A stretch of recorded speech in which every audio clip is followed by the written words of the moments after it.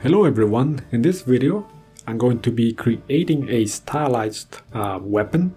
I'm not sure if, not quite sure if you would refer to this one as an axe or I'm actually not too sure what you would name this.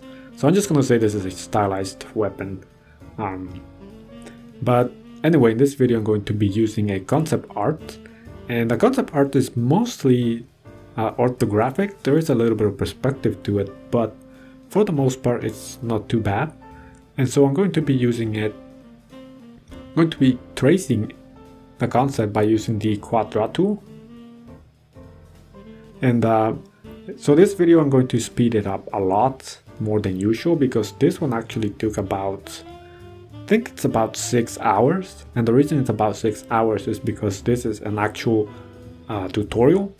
It's not fully step by step but uh, but I don't really skip anything, I actually show all the steps. I mean, except for maybe calling out the buttons that I'm pressing on it or anything like that. But this one's about 6 hours and this is a full tutorial that I made and uh, the link to that is in the description if you want to actually see the full tutorial. So this video in particular I did have to speed up a lot and also skip a few parts because like I said it was 6 hours. So I couldn't really speed it up so much that you know you wouldn't even be able to tell what's happening. So I actually skip a few parts in this one. Uh, but the full tutorial includes everything pretty much like how to model it doing UVs, welding and uh, creating the high poly model. So for this one obviously there's the concept and uh, for the most part I'm going to be using the quad draw tool to trace the concept.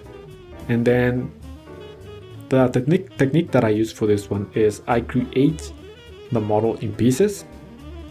So I separate a few of the pieces and make them separately.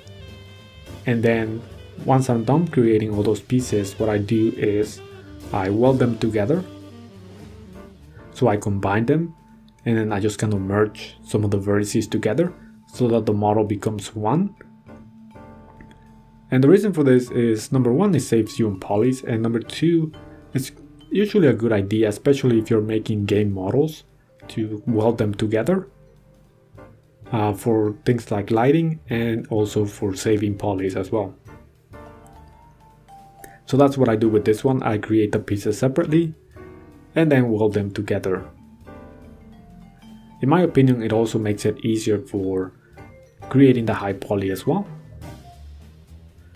And in this case, what I did was I created a low poly. I created a low poly, but I also used uh, triangles. I always get that question as to why I use triangles. Most people think that using triangles is bad, uh, but the thing is, in games, triangles are perfectly fine. And in fact, when you import a model into a game engine, uh, the game engine automatically triangulates your model. So triangles are fine. Uh, the only issues that triangles can present is that when you're creating a high poly model, if you have triangles, you're probably going to see some bad ge geometry like pinching, stuff like that. So in that case, I think if you're making a high poly model, it's probably best to use quads only and not triangles. Uh, mostly for mostly so that you don't see any artifacts or any bad geometry when you uh, subdivide it and preview it in sub-D mode.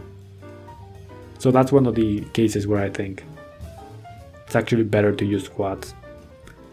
So in this case I did do triangles for the model and uh, later in ZBrush what I did was kind of clean it up by sculpting some things away.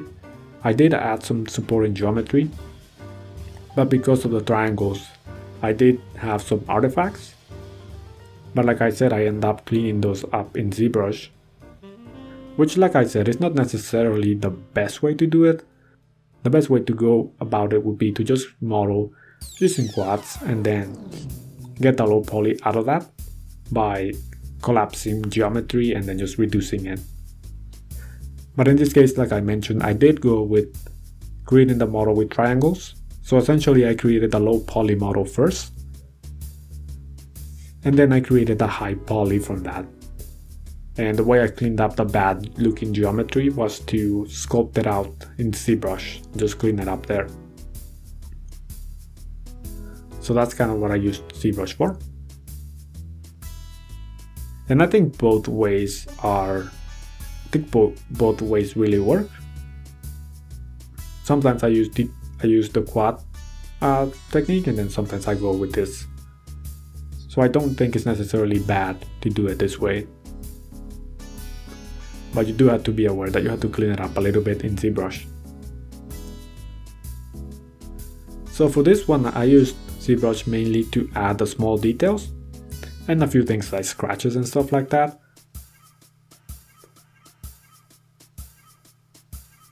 And things that can be baked as normal map information onto the model. Again, like I said, this is a this is essentially a preview of a full tutorial I made.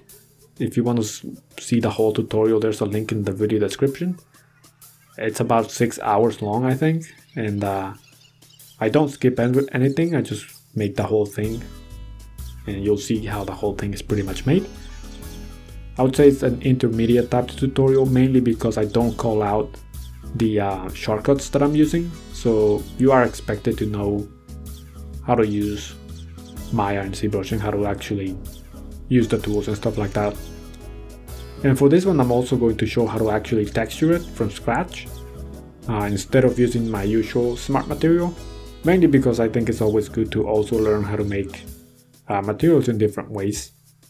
So this one's a little bit different than my actual material tutorial that I have, uh, but it's similar at the same time. So it's a full tutorial, like I said, that's from start to finish, where I show how to make the model, how to UV it, how to sculpt it, and texture it as well. And there's also a bonus tutorial that I created on how do I actually render in Marmoset Toolbag.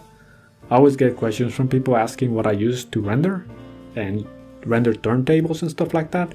And that's pretty much Marmoset Toolbag. I use that for rendering. So I actually show that in this tutorial as well. So if you want to learn that, there's also that.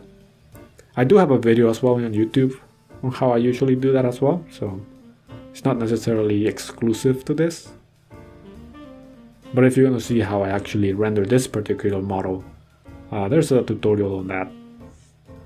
So like I said, the tutorial link for the full video is in the video description. And this is what I would call a stylized PBR texture so there's not a lot of big sliding but anyway here is the final render in Marmoset Toolbag uh, if you like the video make sure you hit the like button uh, sub if you're new and uh, hopefully I'll see you in a future video